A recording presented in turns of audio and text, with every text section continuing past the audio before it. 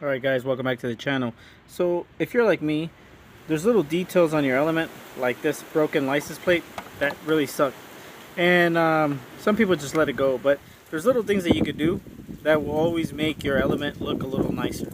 So this is what my front license plate looks like, and this is what my back license plate looks like. And I'm promoting this wherever this guy is. I don't know who he is, but uh, that's gotta go. So what I did is I bought these Red Wolf license plate brackets. They're supposed to be pretty cool and this is what they look like. They're all solid black. They come with the caps screws bolts everything.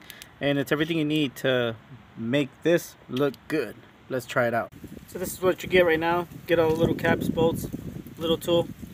Uh, we're gonna go ahead and replace these. Let's see what it looks like. And here's the first one. And like I said sometimes our elements just need a little bit of love.